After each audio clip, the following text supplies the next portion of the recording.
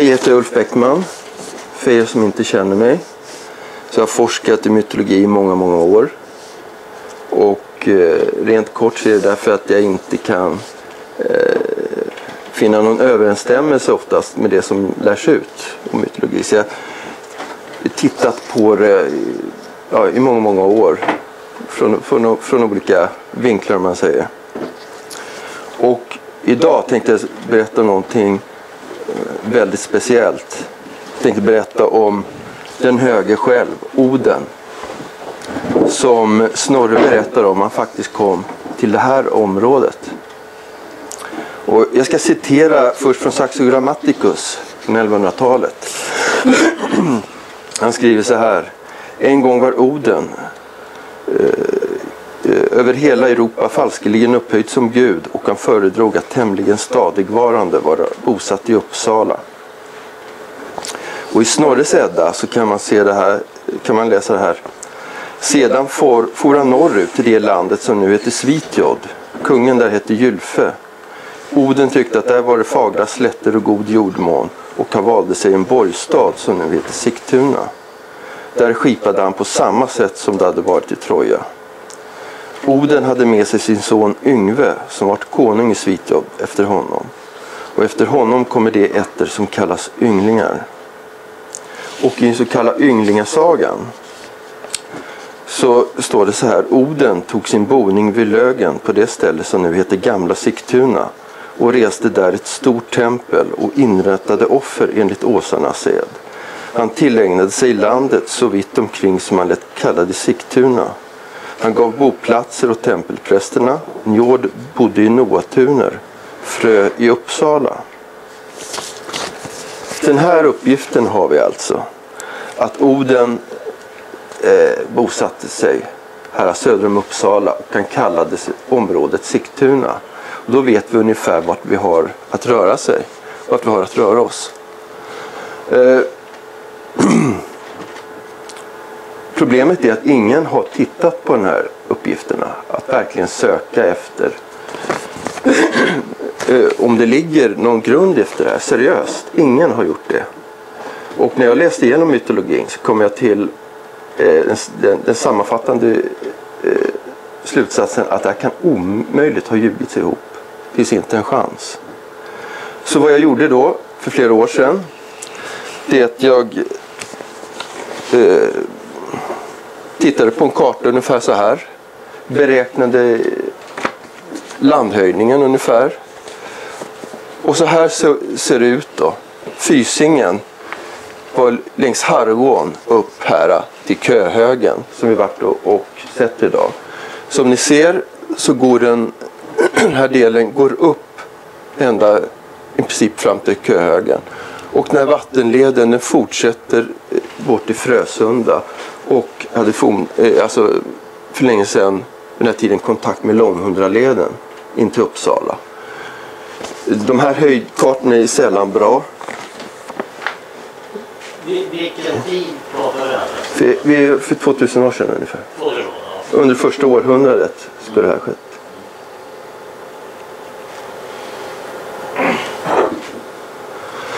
Här är en lite bättre karta.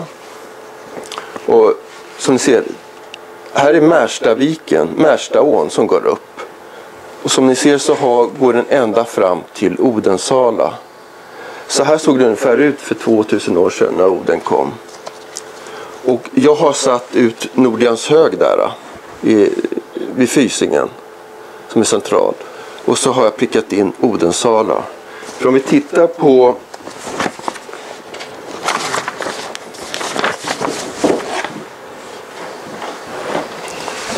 Odensala så har vi ju Sigtuna här. Och där har vi Odensala. Och Nordians hög heter egentligen ursprungliga namnet är Norhaug. Och så har vi Köhögen här borta som också heter Kärhögen. Kärhögen. Och den heter också eh, Konungshögen. Ja, vad bra. Det är den.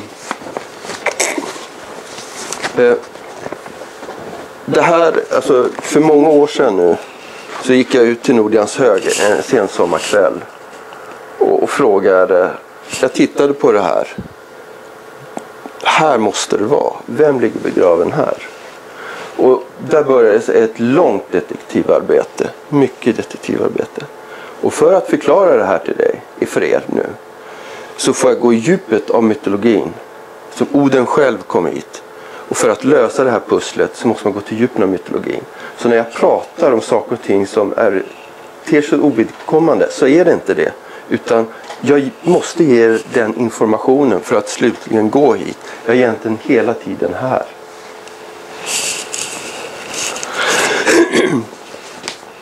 Odin kom för 2000 år sedan. Så kom han upp från Asgård i Anatolien, det så kallade Turkiet, Troja. Och Troja är något mycket speciellt som man inte har undersökt. Det är arkeologiskt, eh, det finns mycket mer att undersöka där. Och eh, det här har hånats och ignorerats och den här historien, grekisk historien med den trojanska hästen, den döljer i mångt och mycket den verkliga historien. Därför att i alla eh, religioner egentligen så är Gud tre, treenig. I den nordiska så är det Oden, Vilove, eh, ibland kallad Oden, Höner och Loder. Och i den vediska så har vi Brahma, Vishnu och Shiva. Och det är samma som eh, den kristna treenigheten. Där den är en treenighet egentligen svagast uttryck. Fadern, Sonen och den helige Ande. Så det är egentligen en väldigt luddig kopia av den ursprungliga. Och det här ser man därför att Snorre säger att Asgård, det, det är Troja. Och Troja betyder treenigheten. Troja betyder egentligen Gud. Gud är alltid treenig. Det är samma som i trojka och som i franska trois. Eh, så det är eh, urindoeuropeisk ord för tre i enhet. Och för att lösa det här pusslet så måste vi gå till någonting som vi inte förknippar så långt som vi kan komma. Det här är en vedisk Noa och han heter Manu. Ända bort i Indien. Och han är exakt densamma som den eh, germanske Manus som Tacitus skriver under det för, första århundradet vår tideräkning så skriver han det i sitt verk Germania. Att germanerna påstår sig härstammar från en gud Tivisto och hans son Manus. Och Manus har tre söner, Ingvo, Irmin och Istvo. Och Manus betyder mannen Noa, Manu, mannen Noa. Så vi får ta bort den här äh, hjärntvätten med den kristna Noa. Och Yngve, Ingo, han är väldigt speciell därför att han är den son som germanerna härstammar ifrån. Det finns det i många namn. Ingeborg, Inga, Ingemar. Det finns hur många variationer som helst på Ing. Och det finns också i ortnamnsefterled, till exempel Huddinge, Tullinge, Vellinge. I England har vi ju Harding, Barking, Ealing och allt vad det heter. Ing, efterleden Ing betyder folket av. Men den djupa meningen är det är eh, Yngves folk. Alltså man härstammar från Noasonen Yngve. Och det är det som det här. Kort om, om Oden då. Under första århundradet, vår tideräkning, så tog han vägen genom Gårdarike som måste ha varit samma vägar som vikingarna en gång tog i österled. Alltså, den här vägen varit känd sedan gammalt. Och eh, han, sedan fördes han till norra Tyskland. Germanerna fanns, liksom kontinentala germaner fanns huvudsakligen i norra Tyskland vid den här tiden och, och Nederländerna och sådär. Och eh, Odens söner blev kungliga dynastier i hela den germanska världen. Eh, I eh, Snorre eh, nämner tre brand, eh, vad heter de, Sige och i, i Tyskland. Men framförallt så ser vi eh, Völsungaätten är egentligen den mest kända i Tyskland. Men framförallt så ser man det här sedan under folkvandringstid då många germanska stammar åkte ut till Storbritannien. Och de som är kungar, England var ursprungligen flera små kungariken. Eh, Northumbria, East Anglia och, och, och här så var det flera kungar som skrev ner sin ättelängd till Oden själv och de är bevarade i den anglosaxiska krönikan. Och i, i fåtal andra eh, källor också som har bevarats. Är de också med i engelska adelskalendern? Eh, ja, det, det... De har jävligt bra koll på sina ätter. Ja, jag vet. Eh, jag har bara gått igenom de, de fornengelska. Eh, eh, jag har hållit mig till det. Man måste avgränsa sig. Men i alla fall. Sedan åkte han till Danmark. Och hans eh, son Sköld grundade Sköldungaätten. Och han, senare så färdas han till Norge och, till, och, och hans son Säming blev då grundare till stormännen där. Och sen i, när han kom till Svitjod då så grundades då den mest kända ynglingaätten efter hans son Yngve Frej. Och för att lösa eh, det här eh, mysteriet så går vi vidare till jag vet inte om ni kan se här att eh, här har vi Landfedgatal. Det är gammal nordisk källa och här har vi Noa högst upp. Och Noa är alltså inte något kristet som vi hjärntvättas till utan Eh, det är bara en version. Och här har vi under där sonen till Noa. Han heter Seskef. Det betyder alltså sjökärven. Här har vi då i, från Winchesterkrönikan Noa högst upp, Noe. Sen är det Skif som betyder kärven. Um, Winchesterkrönikan skrevs uh, i Alfred uh, den store sov. Hela England hade tagits. Det var bara i sydöst, sydvästra delen, i Wessex, som eh, Alfred den store höll ut mot vikingarna. Han, han påbör, där påbörjades den anglosaxiska krönikan. Och den här det är ingen biblisk utan det är kärven kallas han.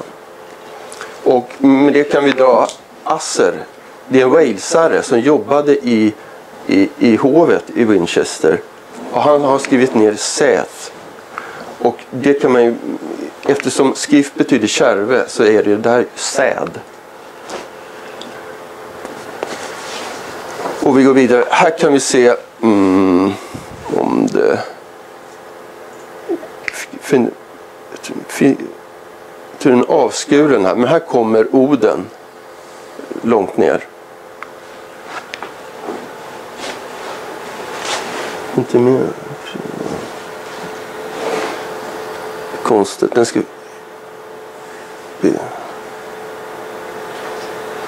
Här här ser ni, som jag visade tidigare, skif heter det fornengelska. Och det är alltså large bundle of corn, det vill säga i kärve. Noasonen kallas eh, för kärven. Och sen. Nu är det så här att eh, jag tror vi hoppar över den och den går vi till. Så ser vi här att då har vi här, se, där är ju säd. Det är samma som frö. Och skif, samma som vase och kärve. Och seskif är alltså skärven från sjön. Och det här, om vi lägger ihop det här, äh, skif, kärve, och vi lägger ihop det till Odens son så heter han Yngve Frej. Och det är samma som Tacitus, Noas son, Yngve. Och vi kan lägga ihop det här frö som är säd, samma som kärve. Det här att Yngve Frej, Noas sonen, dels uppträder Långsprång som Noas son och sen uppträder i Sverige. Det gör att en myt i fornengelska källor Eh, bildas om att Yngve Frej eh, han flyttar i land på en, en, en, en litet jag ska säga, båt. Flyter iväg till Skandinaviens kust. Den finns också bland langobarderna förutom i, i, i södra Europa. Fin, finns den här eh, källan. Och här är en tysk på 1800-talet som ritat av det. Också, han, han har ritat ut Ing också, Noasonen. Och då ligger barnet på en kär, kärve där. Jag ska bara visa ett exempel på hur det kan se ut i den anglosaxiska krönikan. Här är Ida från Northumbria som är nordisk, mest eh, norra delen av England. Och så går hela ättelängden ner här till Woden som är Oden. Sen fro, eh, ja, fortsätter bortom Oden till och med här.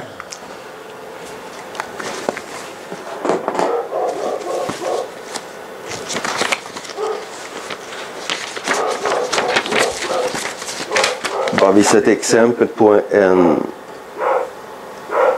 annan ätterdräkt från, här från East Anglia. Bara så att ge som ett exempel. Här nere står det Oden.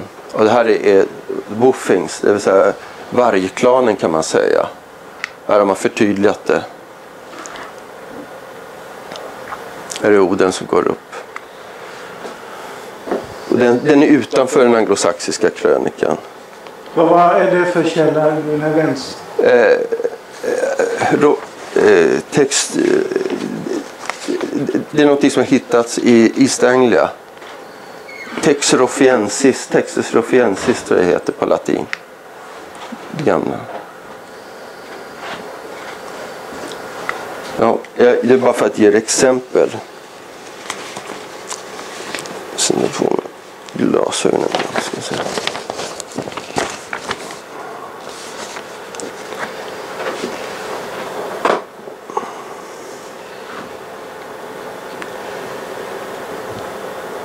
Vi ska gå till Norge sen.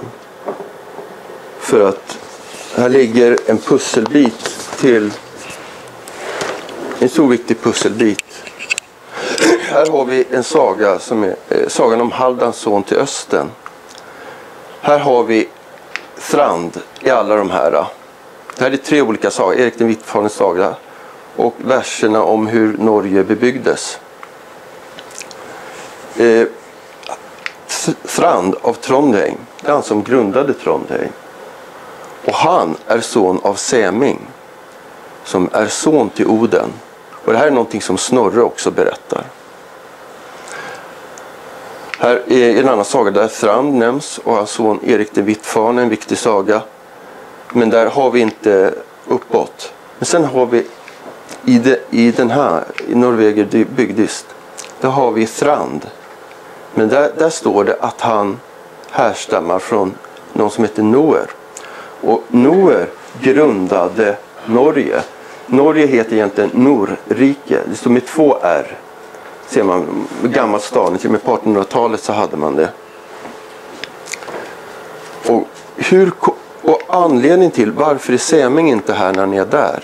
Jo, därför att de, kan, de vet om att Oden är Sämings son till Oden och att Trand härstammar från Säming. Men eftersom källorna har Nor här så tar man bort Säming som egentligen också ska vara här. Det finns olika anledningar till att man tar bort Säming. Men Noer och Oden, det är samma sak. Det är två ord på samma. Och det här, det här upprepas sen i, i, i Sverige. Eh, är Nord samma som Oden? Ja, Noer är samma som Oden. Och det, det, det kommer jag förklara här. Sen när vi kommer till, eh, till Sverige då så har vi då ynglingätten här. vi ska, vi ska se, här uppträder någonting underligt. Här har vi Noreger byggdist. Eh, om ynglingätten. Det här kan, kan vi lägga på minnet. Burr, det är egentligen ett namn på Gud. Det är en aspekt av Gud. Det är egentligen, den normala skrivningen är borr. Buri och borr. Och borr finns här också, orkesta, borresta. Det betyder Gud. Om vi tittar här så har vi Oden, Asakung, sen står det Freyr, det är Yngve Frey. Så har vi Njord, så har vi Freyr igen. Alltså här kan man inte enas om vem det är som är far till Frej, Oden eller Njord. Och det här så vi ytterligare en från Ynglingasaga så har vi det verkar som den visar lite dåligt när under försvinner. Här har vi Oden, så har vi Njord, så har vi Yngve Frej. Du kan inte förminska storleken. Vänta, nu, nu, nu, nu. Du var ju när på musen kom det fram. Sådär. Men här- här har vi det här är fantastiskt det här problemet, Njord och Frej, att båda står som Frej. Därför att jag ska läsa upp vad Ynglingasagan säger. Det är ganska fantastiskt. Och, och det är här alltså. Det är här i området. Fysingen och det. Njord fick till hustru en kvinna som hette Skade. Hon ville icke leva samman med honom utan gifte sig sedan med Oden. Oden dog sotdöden i Svitjod. När han kände döden nalkas lät han märka sig med en spjutsudd och gjorde till sin egendom alla för vapna fallna män. Eh, sin, ja, alla för vapen fallna män sin egendom. Njord från Noatune blev nu härskare över svearna och höll offren vid makt. Njord dog sotdöden. Han lät också märka sig åt, åt Oden innan han dog. Svearna brände hans lik och grät mycket vid hans grav. Betänk, begrunda vad, vad han säger här att i källorna i både Njord, Oden, i far till Frej. Båda märkte sig med ett spjut. Båda var gifta med skade. Båda dog sotdöden, så är det. Så att det verkar, jag tittar på, det måste vara samma person. Och då börjar jag förklara eh, och det förklarar det här också. Det är att det är samma person. Njord och Oden är samma sak. Det är precis som Noer. Och eh, i, i, de, i de norska källorna. Och så här står det att Njord är ju Gud för hav, väder och vind som bor i Noatun. Noatun betyder Noas stad. Njord är en sammanskrivning av ny jord. Så guden för hav, väder och bin, vind heter alltså ny jord och bor i Noas stad. Och titta, tittar man då på den, eh, den, den norska där det står Noer. Noer är fornnordiska för Noa. Det är Noa. Och, det, och vad heter då Odens son i Sverige? Yngve Frej. Men Yngve Frej betyder ju Noasonen. Det betyder Noasonen. Och det här är alltså tusen år innan kristendomen kommer.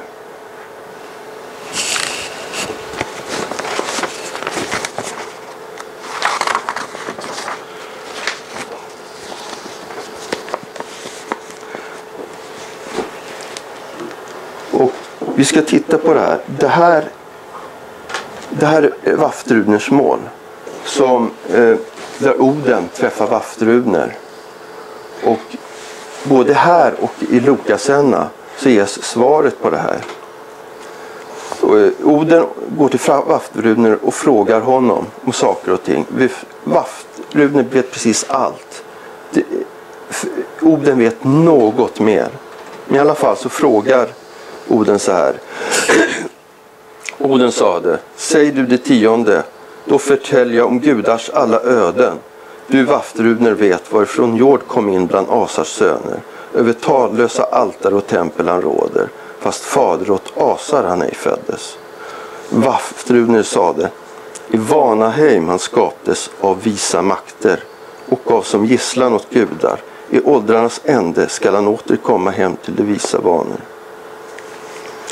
De, vis, de visa makterna är Guds treenighet som Troja. Det här visas bland annat i, eh, beskrivs i Eddan som att Oden, när han bodde i Asgård, så Oden var gift med, med, eh, med Frigg. Men det, det är också, ofta tycker man att det är lite tokiga sagor, men egentligen informationen är inbakad. Det, de bygger in informationen i, i sån här poetiskt, på en poetiskt vis. Frigg kan inte vara gift med bara en, eller vara ihop med bara en egentligen. Det är det som åsyftas. Jo. Är det på igen eller? Ja, Okej. Ja, jag nämnde Loketrätan va? Just det. Då har vi då Hugin och Munin. kan vi gå till Odens korpar. I Moseboken står det så här. Efter 40 dagar öppnade Noa ett fönster som han gjort på arken och släppte ut en korp. Den flög fram och åter till dess vattnet torkat upp från jorden. Det är samma korpar som, som eh, Oden har. Och i Gilgamesh-eposet från ungefär 1800 f.Kr. där nere i Sumerien. Då sände jag, Oden-personen där heter Utnapishtim, Gilgamesh-epon. Då sände jag iväg en svala. Svalan flög iväg men kom tillbaka. Det fanns ingen plats för den att vila så den kom tillbaka. Då skickade jag iväg en korp. Korpen flög iväg. Den såg att vattnet hade sjunkit undan. Den hittade något att äta, cirkulerade runt, kraxade och kom inte tillbaka. Korparna är förbundet med Noa och Oden har korparna. Det stämmer också. Och Odens son här som Gud eh, manifesteras inte bara i Oden utan också i Yngve Frej. Och Yngve Frej betyder Noasonen. Under eh, 1700-talet, 1741, så, går, eh, så skriver Lars Salvius beskrivning över Uppland. Då skriver han så här. Odensala eller Onsala socken menes också formen varit kallat Odensharg och Odnarid.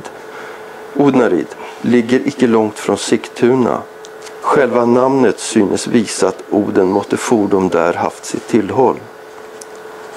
Där är där det ska, verkligen ska vara också. Så hur kunde Lars Salvius säga det här? Det finns många eh, kyrkor och platser med hedniska namn.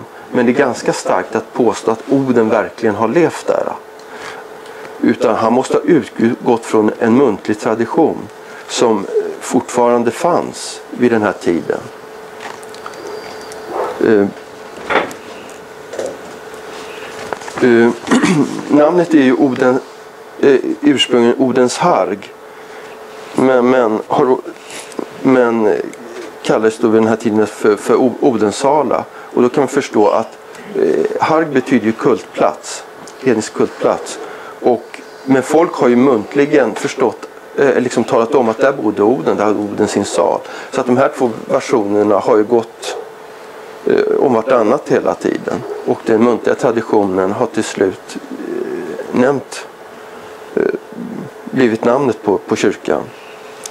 Och jag tänkte för mig själv så här att Eh, Albertus Pictus, målaren, målade på 1400-talet kyrkan.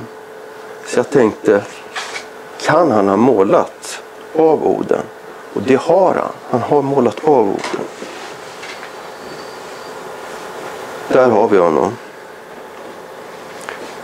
Vi såg att han har, eh, det här ser man, han är, om ni går in i Odensala kyrka så ser ni det är verkligen han är ju på sådana här, vad heter det, ska man säga, inte strevpelare utan sådana här valvribbor. Och han kommer verkligen ner, man ser inte den här tredimensionella eh, eh effekten. Alltså han är verkligen prominent. Man går in i kyrkan på vänster hand. Alltså inte Uppsala kyrka? Nej, Odensala, Odensala kyrka.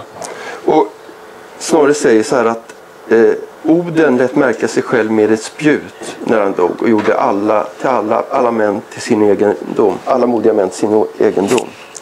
Och det är därför han håller spjutet i sin hand också. Och vi ser att djävulen är placerad strategiskt på båda sidor och sen är Kristus. Eh, på båda sidor. Vi ser att liksom man vill rama in honom i djävulen. Men nedanför så tror jag att det ska vara nästa bild. Där. Så ser vi jag tar den här. Här, här finns det en latinsk inskrift under här. Det står det att, att eh, djävulen eh, frestar Kristus att göra bröd av stenarna. Men Och sen här så står det då att djävulen, äh, Kristus driver bort djävulen. Men om ni tittar. Förstår ni varför att han står på stenar här? Djävulen. Är det någon som förstår det? Jo, därför att harg, Odens harg, betyder också stenröse. Och han pekar på Oden och han pekar på stenröset. Odens harg.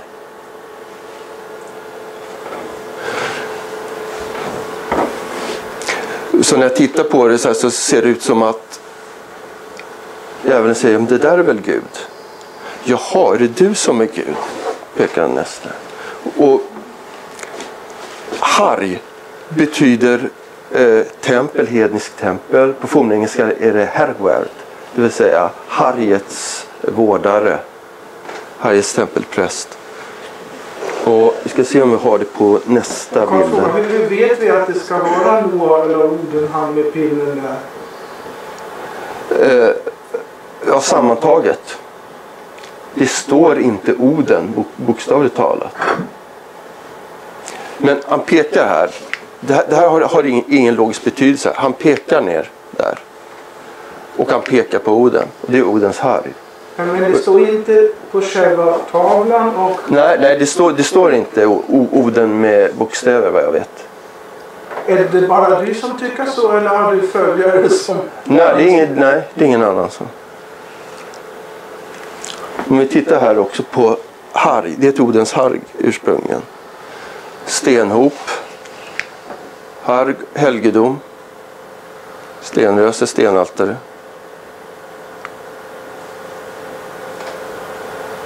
Men det är väl flera som Offerställe. har haft sådana stenar, det är inte bara Oden eller? Vad sa du? Det är väl flera som har haft sådana stenrösen, inte bara Oden? Det var en väldigt vid... Vad var frågan? Ja, alltså du knyter ihop Oden Ha- och stenröset. Ja. Men, men, Men speciellt, det går inte att hitta något kristet sammanhang. Varför säger han, fri, fri, han, han frestar Kristus att göra bröd av stenarna? Jo, jo, men, men, Ja. hur kan man knyta ihop ett stenröse med Oden? Nej, nej, stenröse betyder helgedom. Kyrk, Odensala heter ursprungligen Odens harg. Odens tempel. Och med harg och stenröse, eh, eh, alltså tempel, är samma sak. Därför att i, i forntiden så har man rest en sån, eh, en sån här stenhög. Så det är samma sak. Du, du ser, han pekar på Oden och han pekar neråt här menar han. Så du menar på att han har går utanför Bibeln i de här freskomålen? Ja, ja alltså att det är ändå så starkt att Oden själv har varit här. Lars Salvius säger ju det också ett par år, århundraden efteråt. Och det stämmer precis med vad, eh, vad Snorre Stu- Sturlason och Ynglingasagan säger. men för annars, för annars höll han sig väldigt strikt till, till bibliska Jag, jag vill säga, han, han backar ju upp här. Han har djävulen där och djävulen där. Det finns en anledning till. Det är för att ursäkta sig liksom. Det finns en anledning, anledning till att djävulen är på båda sidor om honom. Att han har ett spjut. Oden märkte sig med ett spjut. Där. Finns, det, finns det några andra tolkningar att det kunde vara en annan person som han tolkade? Om prästerna, vad står det? Vadå, alltså, att jag skulle leta efter någon Nej, annan tolkning? finns det några annan, det är ju mycket tolkningar av de här målningarna. Eh, det, men det måste väl stå en formell en förklaring till vem personen är, eller? Nej. Det är så att Kristus, det, jag har sett en kille som har eh, Albert Picter-sidor. Ja. Och han har då översatt vad det står. Och han, står och han, har, han säger då, det står på latin här, djävulen frestar Gud att göra bröd av stenarna. Det här var ju inte politiskt korrekt eller religiöst korrekt att göra det här. Så han, han gjorde för att komma undan så gjorde han ju här. Att det är ju lite känsligt ändå. Men samtidigt var, är det så stort att Oden själv har bott där.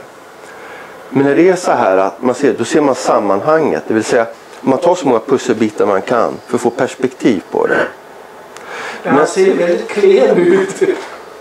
Ja, han passar ju inte ihop va, med de vanliga kristna motiven. Det är väldigt udda. Men vi kanske ska gå vidare. Jag tror jag har, om det är en bild till.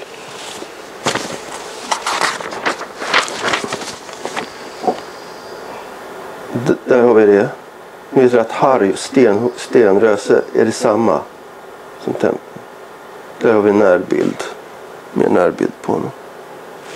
Han ser mer snarare ut som gycklaren eller något sånt. Men inte som Ja, men det är nog meningen också. Det är nog meningen också. Där har vi, har vi kyrkan i alla fall. Odensala kyrkan. Ja. Och här så har det en forntida stenlagd processionsväg har varit fram till kyrkan. Och man tror att den här stenen har varit mot, mitt mot en annan sten, att det varit som en slags portal här. Så, men att den har varit stenlagd betyder att den haft en viss betydelse i, i, i forntiden. Så, så här kanske det har sett ut när Oden dog. Och man kan gjort ut till eh, Nordians hög då. Där har vi den. Och Martin Scania skriver ju 1634, jag har det där också, att denna socken har sitt namn efter Nordiano eller kung Nore, svensk kung 44, konung Wilmers son, eh, år anno Kristi 82 och högen kallas Noerhaug än idag. Och vad kallas Oden för i de norska källorna förutom Oden? Noer. Var, var ligger den där högen? Liksom? Nordians hög. Ja, exakt.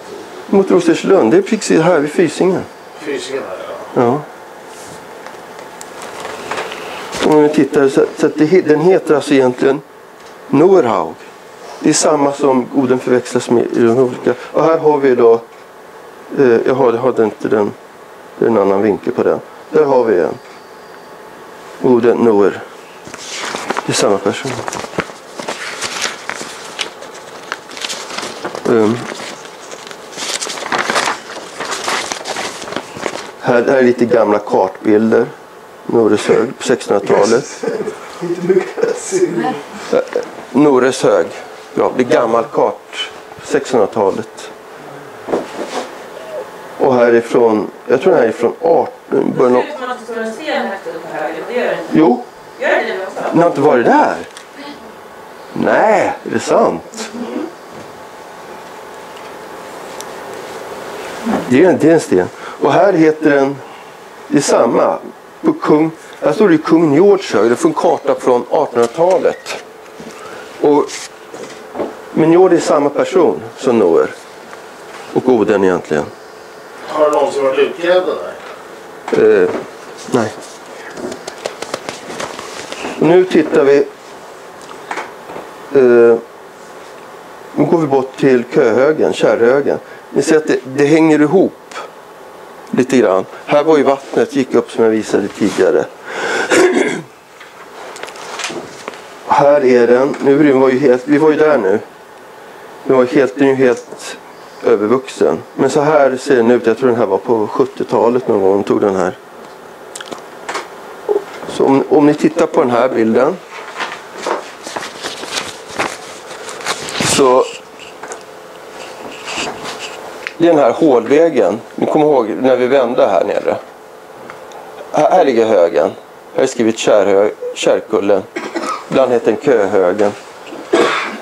Och Vasavägen det är en hålväg som har använts som har gått precis här. Och den går bort till Borresta. Borresta betyder Guds plats. Det finns ett namn till jag har hittat i Sverige som heter nere i Skåne någonstans. Men bety- Vångby. Vad sa du? Vångby. Ja. Mm, ja, jag kommer... Vad sa du? Borrby. Är det, eh, Ja, det ligger det ligger ja, ja, precis. Det är någonstans, där hittat det. Men namnet betyder Guds plats, Guds ställe. Och den här vägen går ner till Borresta förbi Kärrköllen. Och Vas, eh, det här, den har ingen direkt eh, så här den här vägen med Vasaätten. Men den går precis vid kullen här. Och Vasa är, het, är ju Kärve. Och Yngve Frej kallas ju också för Kärven. Och Kärkullen är naturligtvis, måste vara kär, förvanskning av Kärvkullen. Och då får man det att gå ihop. Så om man tittar på till exempel Frösunda. Det är ju ingången från Långhundraleden. Då kommer man in i Frösund. Och det bekräftar också. Sen kan man ta lite, man ser på Markims eh, eh, de generationer som bott här i forntiden har ju naturligtvis vetat om det. Den muntliga traditionen har ju berättats efter generation till generation. Och på Markims, eh, och naturligtvis är, kan, borde man då kunna ha frö som inspiration som namn. Eh, eh, att man döper sina barn efter frö som frö begraven där. Och på Markims kyrka, jag tror att det är, är man kan se bort till köhögen, kärrhögen från Markims kyrka. Det kan man om det inte vore buskage skulle man säkert se den. Och där är den här runstenen tillägnad eh, frös, frösten. Och nu kommer inte den bilden upp. Utan jag har ju, ja jag visar perspektivet. Här är Vasaättens gård. Du ser det är bra, eh, lite, eh, nej, nej just det. Här är en annan. Lundby gård, det ligger alldeles här äh, bredvid Borresta. Och där, där, har de en, en del av den som heter Fröängen. Här har vi den där runstenen. Här står det Frösten. Och den här, Vad står det? det är på Markims kyrka. Freistein står det där. Fader sin. Frösten, fader sin. Och det, man, man ser bort i köhögen långt till fjärran. Och det är naturligt att om man bor i närheten så kan man den muntliga traditionen och det är stort att Fröj ligger där. Att man döper sig, att det namnet är mer frekvent. Till exempel på runstenar och så. Och där hittade jag det i alla fall. Och Frösunda, jag visade, talade om för de som åkte med, med Patriks bil, att här gick ju vattenleden från Harjån upp ända bort till eh, Frösunda. Och Frösunda, det är ju liksom ängmark, ängsmark nu. Så att namnet kommer från forntiden när det verkligen var ett sund. Och från Långundaleden kom man in i Frösund vilket bekräftar den här teorin.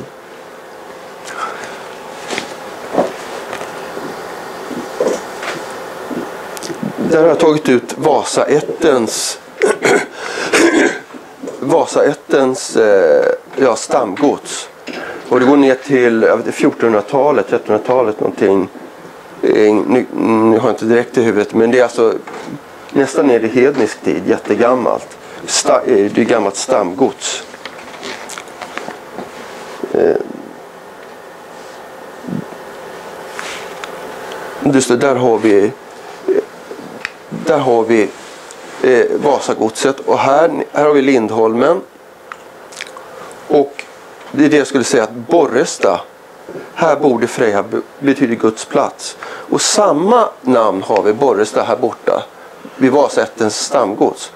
Borresta berg och, och Borresta hära. Där, där är det i Vasa.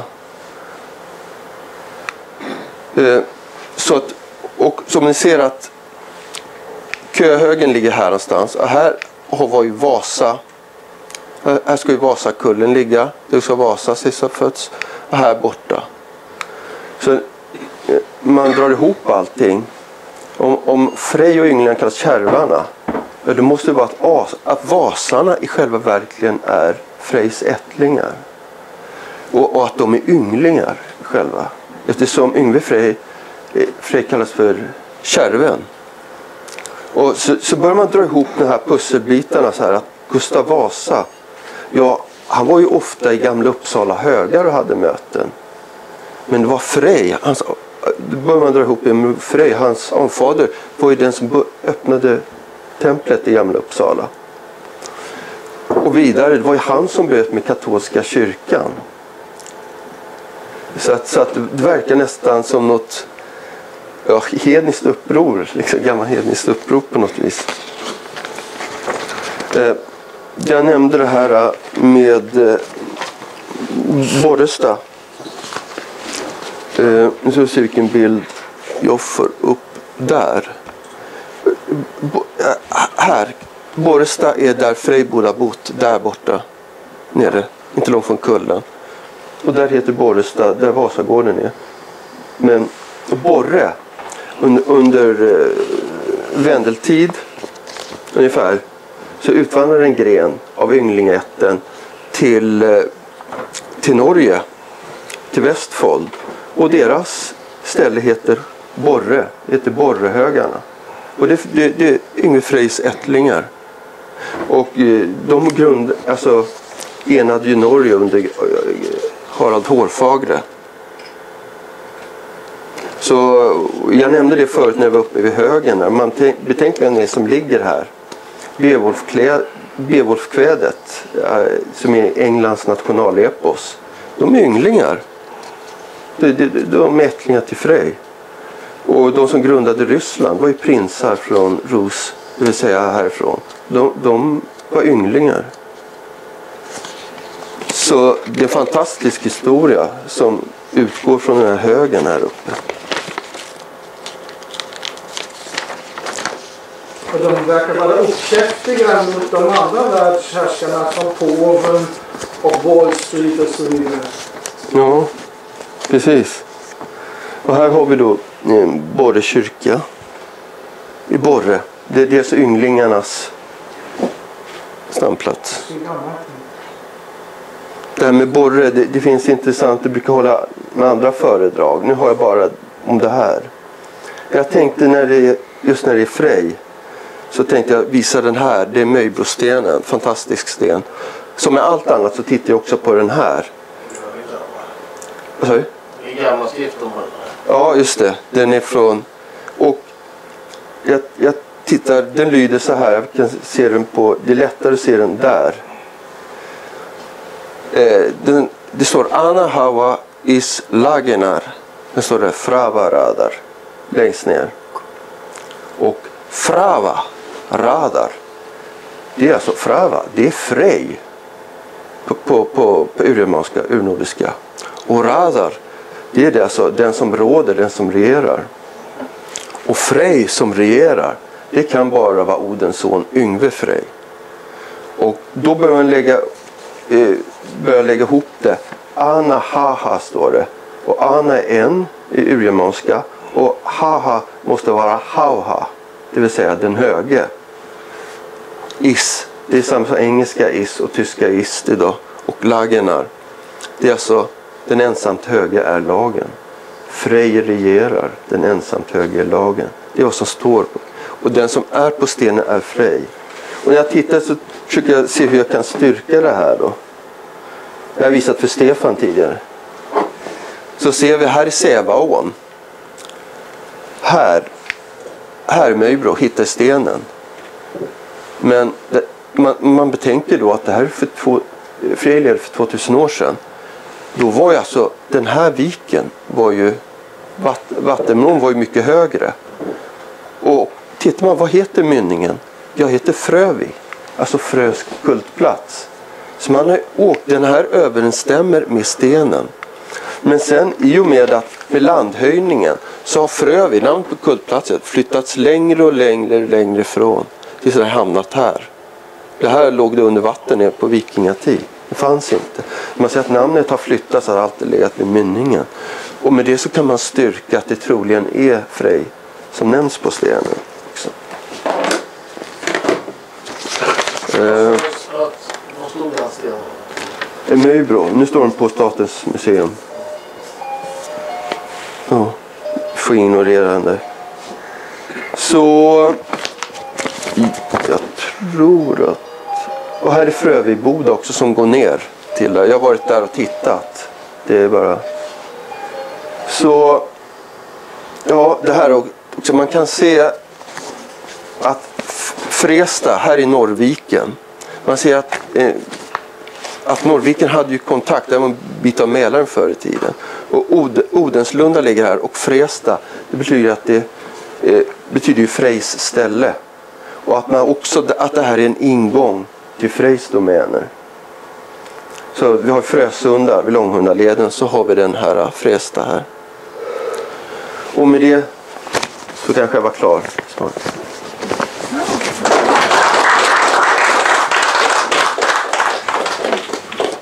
Fråga?